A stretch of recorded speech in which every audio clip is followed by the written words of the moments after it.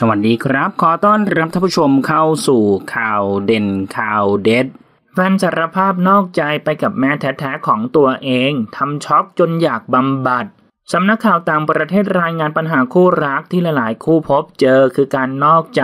ทำให้เกิดความเศร้าเจ็บปวดและทุกข์ทรมานใจ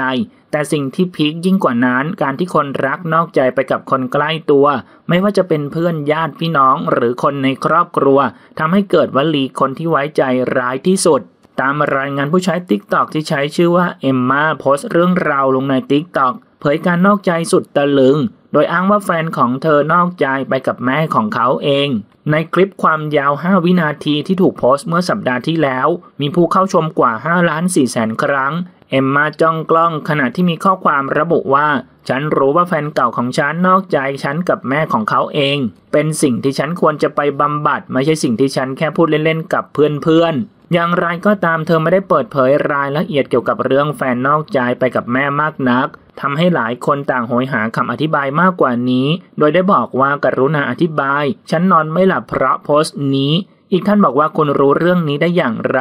อีกท่านบอกว่าวิธีที่ฉันเข้าใกล้โทรศัพท์มากขึ้น เพื่อให้แน่ใจว่าฉันอ่านถูกต้อง อีกท่านบอกว่าชื่อของเขาคือออดิปุสโดยบังเอิญใช่ไหม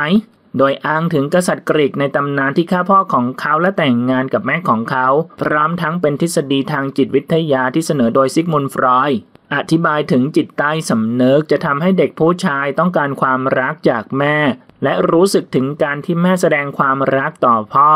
ทั้งนี้ได้มีชาวเน็ตหวังดีแนะนำว่า ฉันคิดว่าทุกคนที่เกี่ยวข้องกับสถานการณ์นี้ควรไปเข้ารับการบำบัดจิตใจ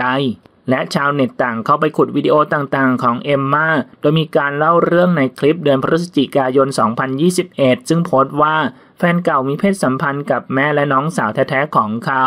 เธออธิบายในวิดีโอว่า ฉันไม่รู้จนกระทั่งหลังจากที่เราเลิกกัน และเขาบอกเรื่องราวนี้กับฉัน เพราะเขาคิดว่ามันทำให้ฉันอยากคบกับเขาต่อฮ่าฮ่า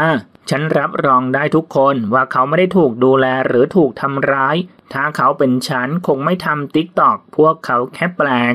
ท่านผู้ชมละครับ มีความคิดเห็นอย่างไรกับเรื่องนี้ลองแสดงความคิดเห็นกันเข้ามาดูนะครับ ขอขอบคุณข้อมูลจากข่าวสด ขอบคุณครับ